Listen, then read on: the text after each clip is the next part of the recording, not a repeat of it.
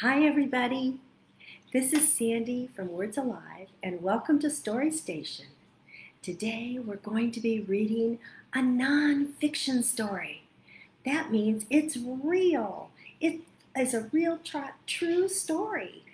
This is called A Beetle is Shy from Diana Hutts Aston and Sylvia Long. Let's get our bodies ready. Put your circles up they become letter O's and open your eyes really big so you can see these gorgeous illustrations. Get your letter C's ready, put them behind your ears, turn up the volume so you can hear the author's fantastic facts about these beetles. And get your voice box ready, open it really wide, and yell out for me all the fun facts that you're learning today.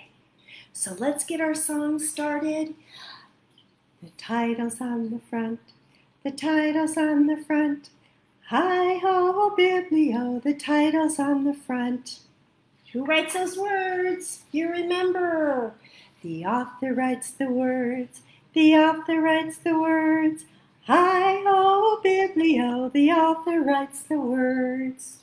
And who drew these beautiful illustrations? The illustrator. The illustrator draws, the illustrator draws. Hi ho, Biblio, the illustrator draws. And what holds the book together? The spine.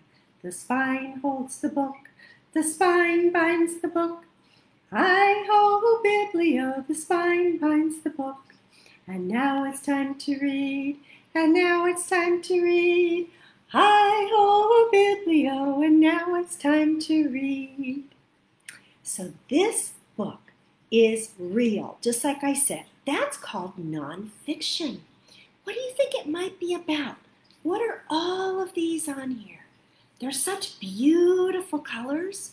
And do you know that they are real? You can really see them in our world. A beetle is shy. Diana Hutts Aston and Sylvia Long. They're the authors and illustrators. And we are going to be so excited to watch these beautiful colors come alive in this storybook. Can you tell what they are yet? What do they look like to you? I wonder what a beetle is. We are so excited for Chronicle to allow us to share this story with you. Here we go. A beetle is shy. It begins its life inside an egg, soft and wingless, tender, protected by the roots of trees and the underside of leaves.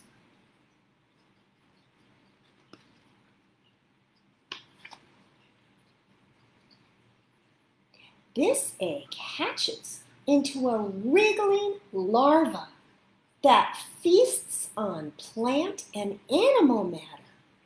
It grows quickly, shedding its hard outer skin or exoskeleton many times as it gets bigger. So these are all the different stages that this beetle is going into. The larva begins its transformation in a cocoon like pupa where it develops wings and antennae. Finally, a beetle twists and turns and squirms free of the pupa's leathery skin, and its body and true colors emerge. What does that remind you of? Have you ever seen one of those? It's a lady beetle. We call it a ladybug, but it's really a beetle. A beetle is kaleidoscopic. That means it has all the colors of the rainbow. While many beetles are black or brown, some are iridescent or shimmery and rainbow colored. Oh, they are absolutely beautiful. Let's see if I can turn this page today. It's very hard page for me to turn. There we go. The beetle is Colossal. That means really, really big. One of the largest insects in the world is a Titan beetle. It has mandibles or jaws. Jaws are what open up your mouth, powerful enough to snap a pencil in half. And beetles are also microscopic. They're so little you can't see them unless you look through a microscope. The smallest beetle is one of the smallest insects in the world. In North America, the featherwing beetle is so tiny it could just crawl through the hole in a needle. Boy, is that small, as small as a piece of thread. Beetles are found on every continent except Antarctica. And because they're so plentiful and so protein rich, they are eaten by humans around the world. Do you think you'd want to eat a beetle? I don't know if I would. In the United States, you can snack on mealworm ice cream. And in the Netherlands, you can try chocolate infused mealworms. In Papua New Guinea, they have roasted palm weevil larvae. And in Australia, they have roasted longhorn beetle larvae. A beetle is a digger. Some have legs that are wide and jagged for digging. Dung beetles are like bulldozers rolling marble sized balls of animal waste and burying them underground or on top of dung heaps. A beetle is also a runner. Some beetles have long, slender legs made for speed. The tiger beetle runs a foot per, oh, I'm sorry, two feet per second. At that rate, the Olympian of the insect, insect world can run 50 yards in over a minute. That is really, really fast. The hopper beetle can use their toes to catapult themselves 13 inches high. Wow. There's a beetle that swims. Aquatic beetles seek their meals of algae, insects, worms, tadpoles, and even small fish. Some have flattened legs like paddles for swimming. Others glide like sailboats atop ponds and lakes or speed beneath the surface as if they were skating on glass ceilings. They can just swim right on the top. A beetle is telegraphic. Let's find out what telegraphic means. Most beetles send messages to each other using chemicals called pheromones. The scent of pheromones acts as a code that tells the beetles where to find other beetles or food. The other beetles talk to each other with squeaky, raspy sounds made by scraping their wings against their body. Fireflies are beetles. They communicate by bioluminescence or glowing lights. They flash their signals to attract other beetles and defend their territory and warn away predators. Have you ever seen those fireflies glowing in the dark? They're sending signals to your friends. Beetles keep themselves safe in many ways. The colors and shapes of some beetles, especially those that feed on plants, help them camouflage themselves or hide among the beetles, among leaves and bark. Some beetles protect themselves by emitting a liquid that's toxic or poisonous. True to its name, the blister beetle secretes a toxin that burns people's skin and causes swelling. There's an arrow beetle, a wasp beetle, and a bombardier beetle. Oh my goodness.